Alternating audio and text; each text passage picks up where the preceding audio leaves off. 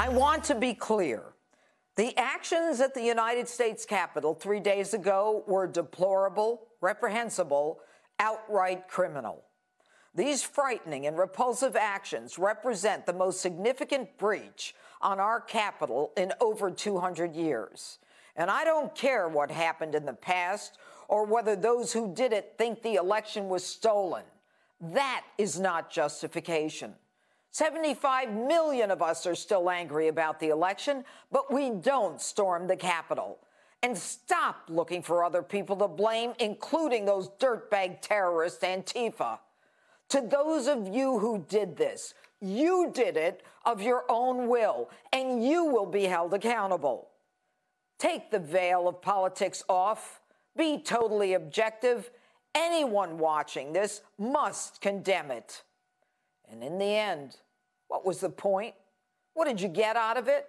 Was there even a plan when you got in there, besides looking like a bunch of freaks, breaking windows, carrying off a podium, sitting at Nancy Pelosi's desk, leaving a love note with fingerprints behind, identifying yourselves with selfies, stealing, damaging property, trespassing, looting? Five people are dead in your wake a police officer, an Air Force veteran, not to mention countless injured, including a young police officer on video screaming as he's being crushed, blood coming out of his mouth. Did anyone stop to think that with this foolhardy effort to disrupt the congressional hearing, you have smeared 75 million of us because of what you did? Did anyone change their vote? No. You have tarnished all the good that's been done over the last four years because of this senseless lunacy.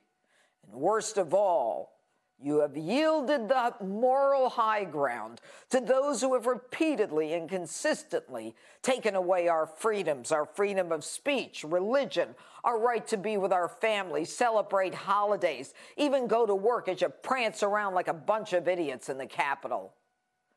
We are a proud populist movement of millions of Americans who support a man who struck a chord with us. People who never voted before, forgotten men and women, people who didn't think their vote mattered came out in droves. And for four years, we watched President Trump deliver on his promises. He championed law and order. He supported the military, and he fought to fund it like no other president in our lifetime.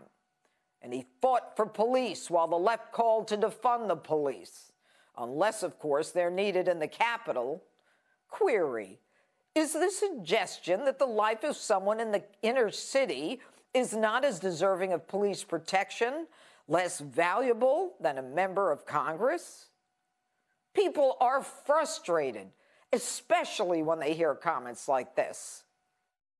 That if had been a group of Black Lives Matter protesting yesterday, there wouldn't have been, they wouldn't have been treated very, very differently. Really?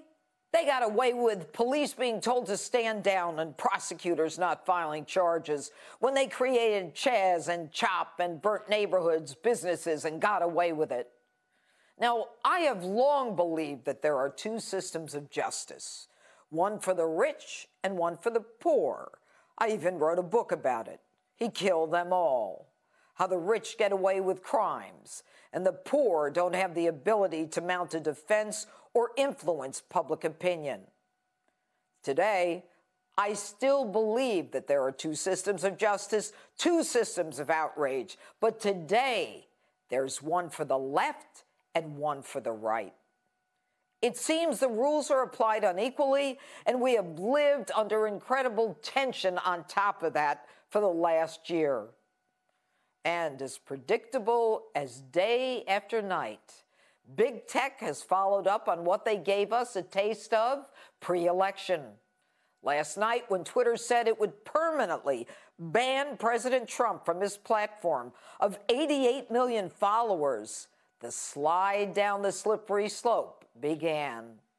Censorship in the United States is the biggest threat to our freedom right now. Social media is the broadcast medium of our generation. It's how we communicate. It's how we get news. It's how we share our thoughts, persuade, dissuade, argue. It's how we laugh, emote. There is a reason freedom of speech is in the First Amendment. It is the essence of our American way.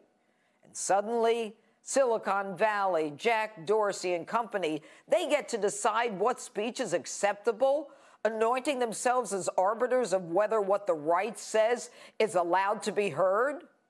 The amazing part is that the United States Supreme Court has repeatedly held that even hate speech is protected speech, that it cannot be regulated because it's part of our fundamental right of free speech under the First Amendment. Now, I don't like it when Kamala Harris goes on Twitter to raise money for criminals who come out and commit crimes again but I would fight for her right to say it under the Constitution. And amazingly, even the ACLU has joined to criticize the move by Twitter. And now, Apple is threatening conservative leaning Parler with removal from its platform. When you are removed, censored, canceled from these platforms, you are then the subject of attack, assault, derision, even dismissal from your job. If you're on the left, however, you're rewarded with a job or you become the head of a department at a university. But the idea of censorship of speech in the United States is destructive to our free and open society. How can anyone possibly believe this is good? Forget fair. The idea that people get to decide whose speech is suppressed and whose isn't is totally outside our constitutional framework. Social media is the marketplace where we share ideas. And as big tech continues to suppress conservative speech, the inability of Americans to get the facts will be even more dire, drawing a politically influenced distinction between the truth and a lie, which will create even more chaos. Fiction, remember, often drives people over the edge. Whenever the media takes side in a movement, historic anger and frustration result. We need a media that gives us the truth. They have not, which has prompted many of us to go online. And now big tech is as much as admitting they don't like what people on the right have to say, and they can't argue that they're law enforcement with an obligation to seek out and root out criminal behavior. is not their job. So big tech must be regulated. They can no longer have the immunity under Section 230 of the Communication Decency Act. The shame is they do what they do because no one in Congress has told them they can't. The monopolies must end, yet they continue because no one in Congress has said that they can't. It's past time to peel back their immunity. The claim that they're taking down dangerous speech is absurd the Ayatollah's on Twitter, but the President of the United States is not? George Orwell was right. The thought police come next to punish thought crime. Personal and political thoughts that are unapproved by the government. Be very, very scared. And that's my open. Let me know what you think on my Facebook and Twitter, hashtag Judge Jeanine you like my opens, you like my new book, Don't Lie to Me, available everywhere now.